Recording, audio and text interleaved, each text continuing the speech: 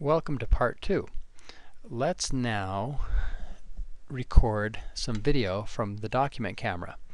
Now I've plugged in the document camera into the USB port and I have it set up pointing down. Um, and what I want to do is if I was going to, if I was really making a podcast about um, the thermometer, I would have a physical thermometer here that I might show underneath my document camera. But the document camera you can think of, it's just like a webcam. Um, so you could even do all this with a webcam. The document camera just has nice lights and a bunch of other features that you could use. So uh, just pretend that I'm holding um, a thermometer when it comes to that point. Now you can see over here uh, in the task list, in the task list, um, I've got some options here of media to, to handle. So I can click record camera right there. Now um, if I really know the video that I want to capture, I might do this before I do anything down here on the timeline. Okay, but if later I need to record some more video, um, I can do that later as well after my project has already started. But I'm going to record a little bit right now. So I'm going to click the record camera button. Okay, now it pulls open. I'm just going to pull this down so you can see the whole window.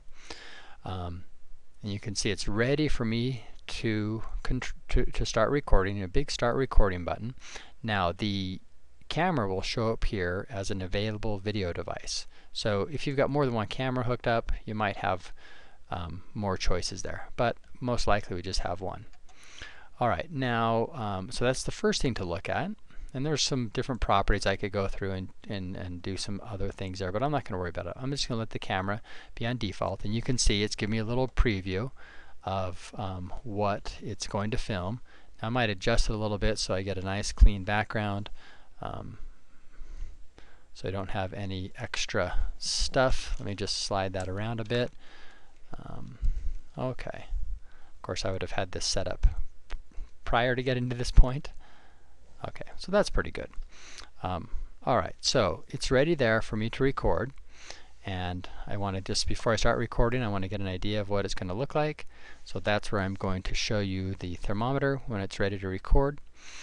Okay so I'll just show you my cell phone pretend it's a thermometer. Now if I was doing a podcast uh, an episode about some other math concept and I had some manipulatives or some other things that I needed to show then uh, this is how you do it. Now this document camera does not have um, lights. So you can see as I move this around, I'm getting an auto exposure happening. Um, if you've got a camera that has um, built-in lights, you'll get a much better effect. You won't probably see that auto um, exposure happening.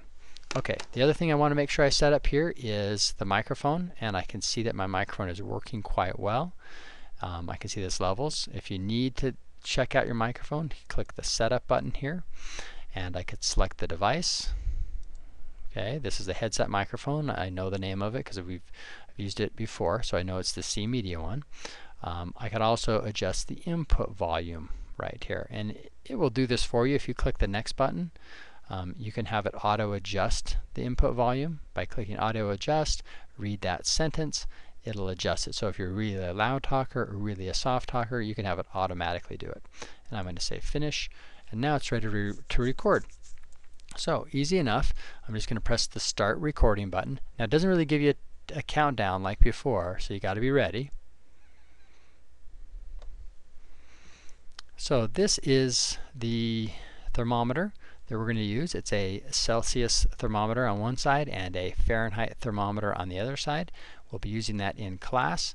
I want you to be um, careful with this so that uh, doesn't break. It does not have mercury in it. The liquid that goes up and down as it heats and cools is alcohol.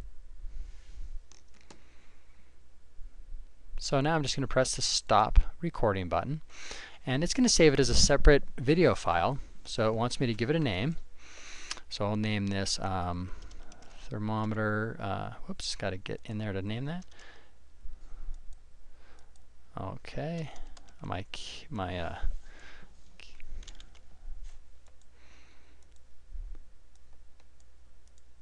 Okay, type in a name, well maybe type in a name.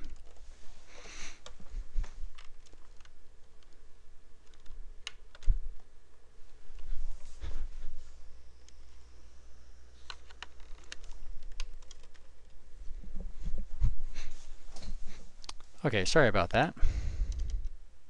So this is going to be my thermometer um,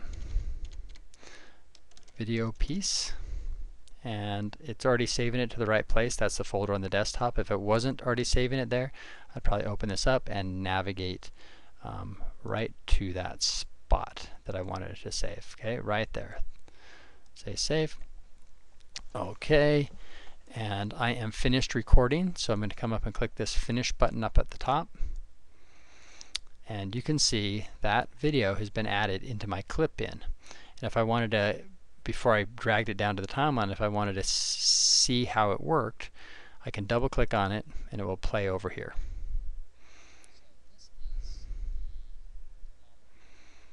Okay, I'll stop that. Um, but I just wanted to check it out. Now, the uh, document camera I have, it takes a low resolution um, video, so it's pretty small, but it'll, it'll do for this example.